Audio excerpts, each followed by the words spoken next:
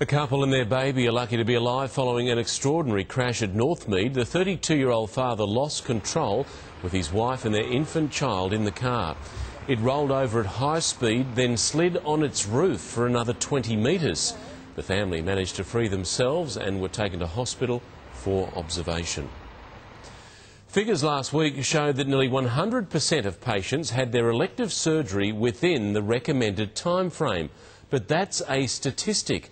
Doctors say it takes no account of what they call the wait for the waiting list, because it can take months to be seen and even longer to be treated, which in one Sydney grandmother's case might mean blindness.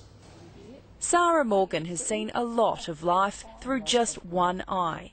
I'm a grandmother 27 times and a great grandmother 26 times. The 79 year old used to be a forklift operator, even though she's been partially blind since she was 13. Over 60 years, one eye's done the job.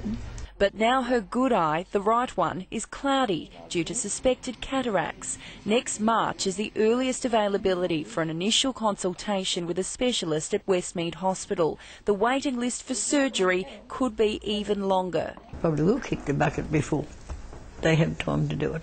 If I'm blind,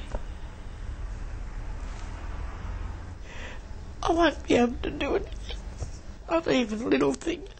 Every day her eyesight deteriorates, and four years to a 79 year old person is like a lifetime.